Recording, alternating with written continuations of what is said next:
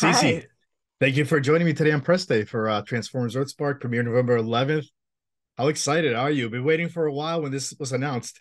Oh my gosh, thank you for being here. Um, I am over the moon. Um, you know, I got into voiceover with the intention of doing animation, and everybody gets into voiceover with the intention of doing animation, and it's harder to do than you'd think. So to book a role like this is I mean, this is the dream. This is this is the thing that I've been watching since I was a kid in the 80s and um I just I can't wait for people to get their hands on this show.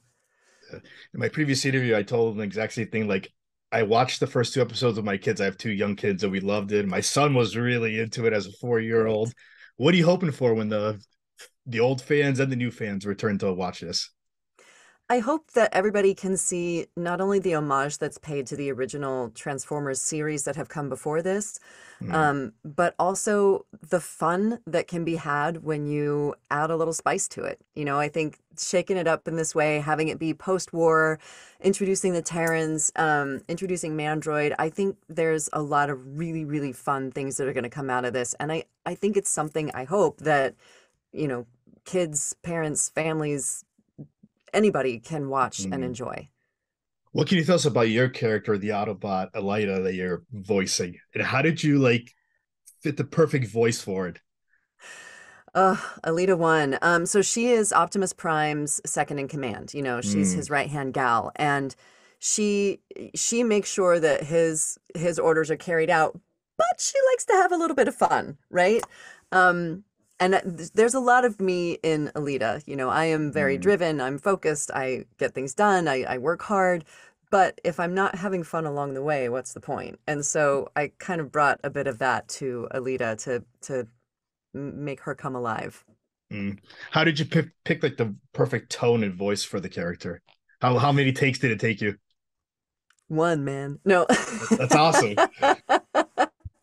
I don't know. I, I remember getting the audition and it was under a uh, a code name so that we didn't know okay. it was Transformers, right? And I just saw this this this character who was very strong, very like competent, confident, um but she's kind of like a cat, you know, she likes to toy mm. with her food while she's, you know, playing with it and uh mm.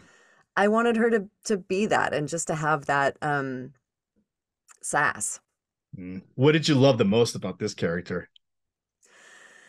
I love that uh, she's not afraid to be strong. She's not mm. afraid to be um, a badass female character, but she also likes to have fun.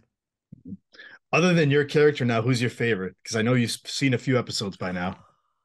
Man, that's like Sophie's choice.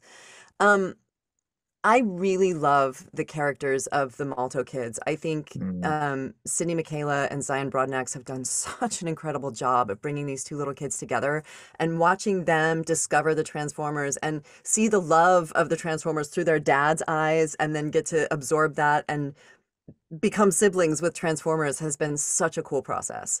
That's great. Uh, Cissy, I want to thank you for giving me a few minutes today on press day. This was great. I uh, can't wait for you to check it out on November 11th. Thank you so much for being here. Thank you.